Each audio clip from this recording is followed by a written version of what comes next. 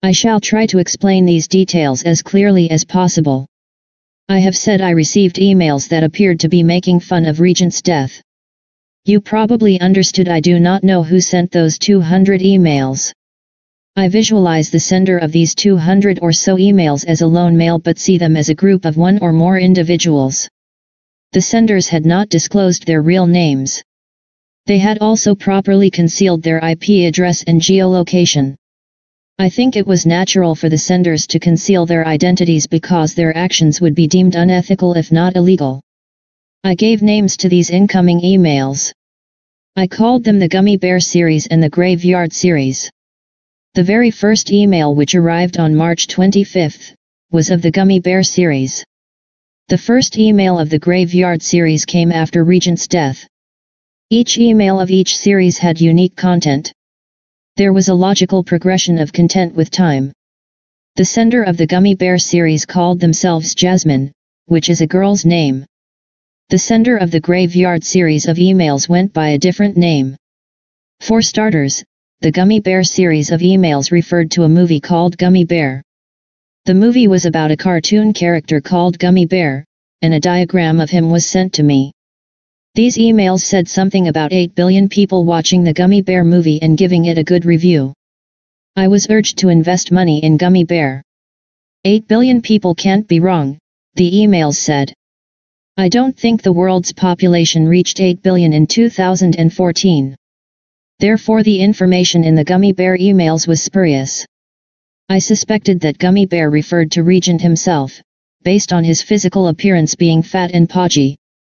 I suspected that the senders were calling Regent a movie, because he was now dead, and would be nothing more than a legend remembered by a lot of people. If you want, you can ask me to go screw my suspicions. But let us continue with my story.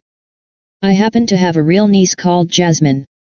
She was around 17 at the time. I have never met her, and she lives in the UK.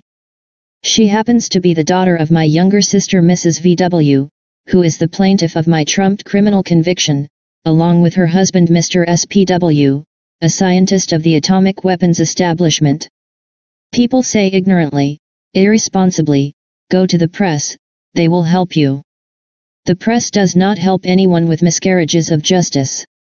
The press does not examine your proof that a sensational event took place. Your story generally needs official recognition before the press will print it. I continue with my story. The gummy bear emails were sent by a namesake of my niece. The long version of these emails referred to an acting school in Brighton. My mother Rada had said before the criminal conviction that my niece Jasmine was interested in acting, drama, and movie stars, and becoming one herself. A few days after March 25, I received a phone call with its number withheld. The caller had a young female voice and introduced herself as Jasmine. She urged me to invest money in Gummy Bear and other beloved movies. I have never met or spoken to my niece Jasmine. However, I could tell right away that the caller could not have possibly been my niece. That's because the caller had a regional twang. She was unmistakably a native speaker of English. I have never known an Anglo-Indian, which my niece is, to sound like that. I would expect Jasmine to sound like her mother, which is like ethnic minority newsreaders sound on the BBC. If she were to sound like her father I doubt she would she would sound Mancunian. The caller Jasmine was country, with a different regional accent. I ruled out that she could be my relative. The long version of the gummy emails had numbers from Regent's address, and the address of the registrar of the domain used by the sender coincided with his place of birth, Tunbridge Wells. The last coincidence is somewhat remarkable, although not impossible. If Regent's birthplace had been London, and the domain used by the sender was with a registrar whose company address was in London, we could dismiss there was any coincidence. After all, there would be hundreds of domain registrars in London. This concludes my description of the Gummy Bear email series of the days before, and after Regent's death, and multiple pieces of information in these emails that seemed to make hints at Regent and my blood relatives. If a reader is not familiar with domain registrars, this will be explained further on. I gave the Graveyard series its name because a graveyard was their subject. And their sender was not called Jasmine. This was a graveyard company. They wanted me to buy an unused grave, and resell it at a profit a few years later. This refers to the UK running out of burial plots and more people opting for cremations. The email said you cannot avoid death sometimes, but you can make money out of it. The graveyard company had the name ICI.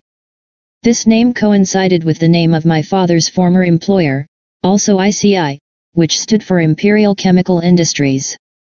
There was one more connection or so-called coincidence. The location of the grave plots was Basingstoke. This is probably the closest graveyard to my sister, Vigil Wortley, who lives in Pamber Heath, near the awe.co.uk, the atomic weapons establishment, where my brother-in-law works. This concludes my description of features and coincidences of the so-called graveyard series that arrived in the days immediately after Regent's death. This section explains how the two email series developed with time. I saw the last email around September 2014. Firstly, both email series that names Gummy Bear and Graveyard series had references or they were an amazing coincidence, that they contained information about Regent and my family members historically. Since I felt the two series were mocking Regent's passing, I did not think two separate culprits sent the two email series independently of each other. I concluded there is only one culprit I visualize as a solo male, but count them as a group of one or more people. I call him or them the culprit, the party that sent the emails. Physically I could think of no one who would know my parents and sister, based in West Reading and the Basingstoke area, and regent of Shifnal, Shropshire, whom I met on Facebook. He is an Englishman who had nothing to do with my parents. My parents were elderly, my father had retired long ago. They had been in the UK since 2006. My father's neighbors and friends in the neighborhood of neighbors where he had bought a home in 2006, were not likely to know who his previous employer was, let alone who his latest employer was, from whom he had retired. Such deep knowledge of my family members would make none but my family members themselves, qualify as the culprit. But how would they know Regent? I have not solved the mystery of the culprit's identity, however, will present my conclusions and how I arrived at them. I plan to be simple short and easy to understand. In the months that followed, right up to September 2014, the emails changed their message. They pretended I had notified Macmillan's, a UK cancer charity, that I had cancer. The subsequent emails were pretending to be from Macmillan's, and how they were organizing a coffee morning for me. The emails said things like, Mohini, dying from cancer can be fun. As time progressed the emails became more hush-hush in mood and indicated my cancer was growing worse. The parting shot was an email, with the subject line, Hersom, why don't you die? The email asked to buy a million dollar life insurance policy, and commit suicide. The interesting thing is that around the time the emails stopped arriving, September 2014, the email that arrived on March 25 was deleted. I realized it had been there the last time I logged in, and subsequently had disappeared. I reckoned maybe the culprit had got my password, got in, and deleted this evidence about himself. But I had already PDF printed the March 25th email. I realize no one is interested in the evidence, however, the culprit was too late to destroy it. Why is this evidence significant? It is the only piece of evidence that proves that the culprit knew of Regent's death before it came. Why is such premature knowledge significant? Because we assume that the culprit was not a medical professional. And we feel Regent's doctor, would likely be the first person to predict that Regent's death was imminent. People close to Regent, namely myself and his sister Crystal, had no clue he was going to die, when I received the March 25 email we realize that someone else knew. Who could that someone else be? I can personally testify that when I took leave of Regent on March 17, he did not know he was soon to die. He did believe his health was deteriorating. He said so and blamed an unknown preparation administered by Dr. B that was getting him all worse. Regent did mention that Dr. B had told him that he wanted to stay immersed in a bathtub of warm water because his body could not maintain temperature anymore. There was no indication the Regent interpreted this as death being around the corner. I did not like it, but not being medically trained, I did not think of the possibility he was dying. When I left him, Regent intended to come to London and attend the April Book Fair and British Library to hear bird and animal sounds with me. We were going to see medical specialists together. He was even on the 20th or 21st on the phone with me from Shifnal to London, he was keen and said he had no energy to walk around a book fair so he was just coming to see doctors. I remember him squealing enthusiastically, I am in I am in. A much neglected creature, he became exuberant that someone cared. I can say therefore that even 72 hours before he died, Regent wasn't sure he was about to die. Which of us is sure we are about to die before it happens? You would be if your doctor told you.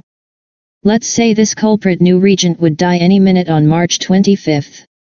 Since we do not believe the culprit is a medical professional, we see him as a third party who had this information. Who gave this third party that kind of confidential doctor information? While Regent died of medical neglect, and there is an unconfirmed allegation by him that his GP was giving something that was hastening his departure, we interpret this as medical neglect and euthanasia of someone the doctor felt would be better off dead. The fact that some non-medical guy who gloats over Regent's death receives confidential doctor information gives the story a brand new dimension.